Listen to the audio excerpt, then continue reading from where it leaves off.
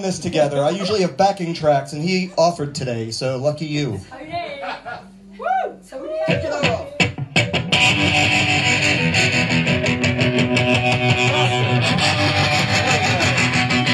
Gentrification is coming, but there's a Banksy in Margate now. A cost of living crisis, but there's a Banksy in Margate now.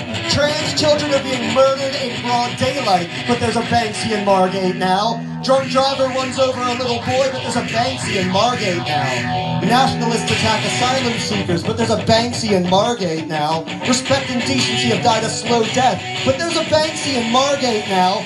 My brain's too clogged with all this fucking bad energy to find the positives about the fact that there's a Banksy in Margate now.